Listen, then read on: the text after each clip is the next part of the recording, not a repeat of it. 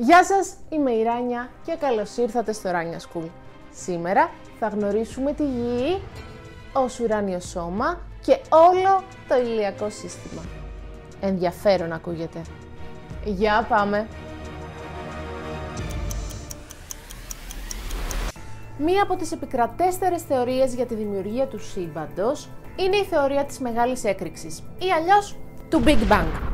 Πριν 14 δισεκατομμύρια χρόνια, τόσο πίσω πάμε, όπου δεν υπήρχε χώρο-χρόνος, όλη η μάζα του σύμπαντος συγκεντρώθηκε σε ένα και μόνο σημείο, το οποίο κάποια στιγμή εξεράγει γιατί βρισκόταν σε μια υπερβολικά πυκνή και θερμή κατάσταση και από εκεί εκτοξεύτηκαν γαλαξίες, αστέρια και όλα τα ουράνια σώματα που έχουμε παρατηρήσει και γνωρίζουμε έως και σήμερα. Γαλαξίας. Τι να σημαίνει τώρα αυτός; Η λέξη προέρχεται από την ελληνική λέξη γάλα, γιατί κοιτώντας τον ουρανό βλέπεις ένα γαλαξία σαν να έχει χυθεί γάλα. Πρόκειται για ένα σύστημα αστεριών, αστρικής σκόνης, αερίων και σκοτεινής ύλης. Τον δικό μας γαλαξία συνηθίζουμε να το γράφουμε με γάμα κεφαλαίο, ενώ όλους τους υπόλοιπους με μικρό. Μπορεί να έχει πάρει ταυτή σου και την λέξη Milky Way. Ε, αυτός είναι ο γαλαξίας μας.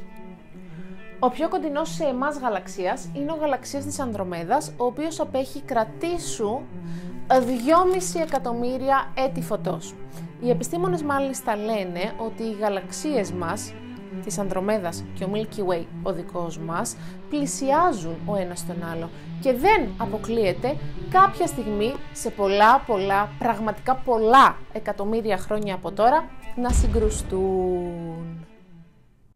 Ανάμεσα στα 2 εκατομμύρια γαλαξίες που υπολογίζει η NASA ότι υπάρχουν, στο δικό μας γαλαξία θα βρεις αστέρια, ουράνια σώματα, ενέργεια και τον ήλιο.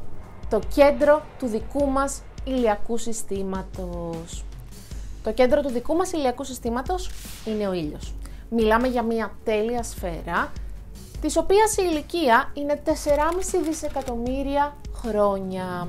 Οι επιστήμονες μάλιστα υπολογίζουν ότι έχει ακόμη 5 δισεκατομμύρια χρόνια ζωής πριν κρυώσει τελείως.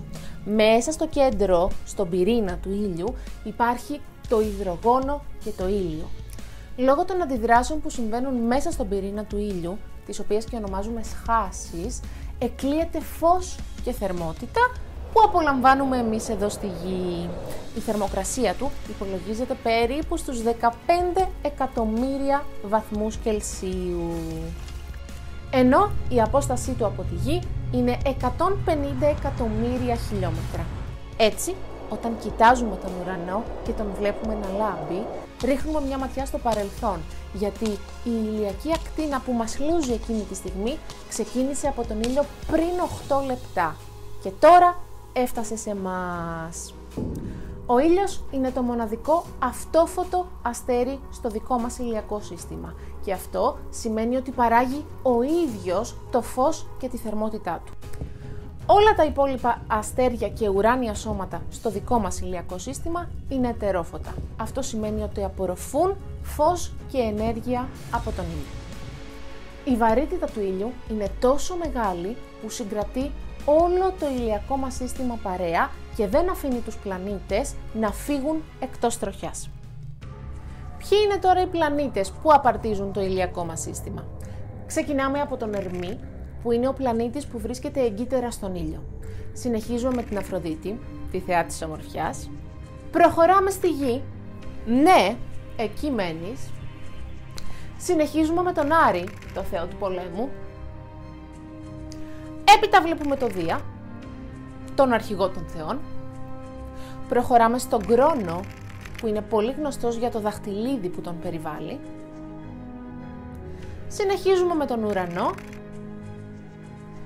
και καταλήγουμε στον Ποσειδώνα. Είμαι σίγουρη ότι έχεις ακούσει και τον Πλούτονα. Ο Πλούτονας μέχρι και το 2006 κατατασσόταν στους πλανήτες. Όμως, οι επιστήμονες της NASA αποφάσισαν τότε σε ένα συμβούλιο που έγινε ότι δεν πληρεί, δεν ικανοποιεί τη μία από τις τρεις προϋποθέσεις που πρέπει να πληρεί ένα ουράνιο σώμα προκειμένου να χαρακτηρίζεται πλανήτης. Έτσι, τον υποβίβασαν και τον ονόμασαν νάνοπλανήτη.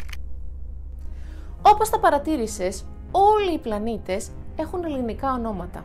Αυτό συμβαίνει γιατί οι πρώτοι που ξεκίνησαν να τους παρατηρούν ήταν οι αρχαίοι Έλληνες αστρονόμοι και αστροφυσικοί και προς τιμήν τους αποφάσισαν να ονοματιστούν οι πλανήτες με βάση την Ελλάδα. Κοιτώντας το βραδινό ουρανό, είμαι σίγουρη πως έχεις παρατηρήσει το φεγγάρι ή αλλιώς τη σελήνη μας. Πρόκειται για τον φυσικό δορυφόρο της Γης, αυτό σημαίνει ότι είναι ένα ουράνιο σώμα που κινείται γύρω από την τροχιά της και παίρνει και εκείνο, όπως και η Γη, φως και ζέστη από τον ήλιο. Όπως το φεγγάρι κινείται γύρω μας και είναι ο φυσικός μας δορυφόρος, αντίστοιχους δορυφόρους έχουν και οι περισσότεροι από τους πλανήτες του ηλιακού μας συστήματος. Επίσης, η Γη κινείται και γύρω από τον ήλιο. Χρειάζεται 365 μέρες για να το κάνει αυτό. Για την ακρίβεια χρειάζεται 365 μέρες και κάτι ώρες και αυτός είναι ο λόγος που κάθε 4 χρόνια ο Κουτσοφλέβαρος παίρνει και την 29η μέρα του. Επίσης, η Γη κινείται και γύρω από τον εαυτό της. Αυτό της παίρνει 24 ώρες. Το διάστημα είναι τεράστιο και αχανές. Οι επιστήμονες εργάζονται πολύ σκληρά και κάθε χρόνο παρατηρούν με τα τηλεσκόπια τους καινούρια πράγματα και καινούρια ουράνια σώματα για τα οποία μας δίνουν πληροφορίες κάθε τόσο. Είναι εκπληκτικό να ανακαλύπτεις τι υπάρχει πέρα από μας και πόσο μικρούτσικοι είμαστε τελικά μέσα σε αυτό το τεράστιο σύμπαν. Και τώρα πάμε να ρίξουμε μια κλεφτή ματιά στο πώς ένας πύραυλος μπαίνει σε τροχιά γύρω από τη γη και πώς γυρίζει πίσω σε μας.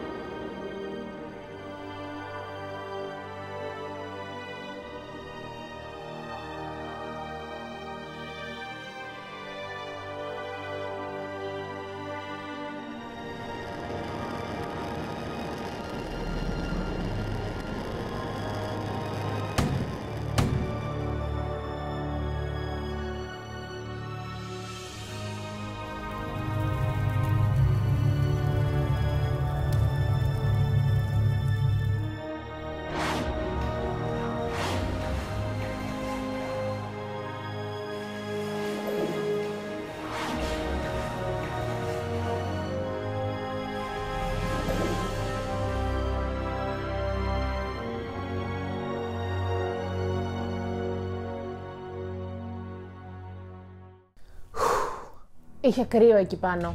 Αλλά προσγειωθήκαμε και πάλι στο σαλόνι μου. Εάν σου άρεσε το βίντεο, μπορείς να κάνεις το like σου, την εγγραφή σου και ένα κλικ στην καμπάνα. Τα ξαναλέμε πολύ σύντομα. Γεια!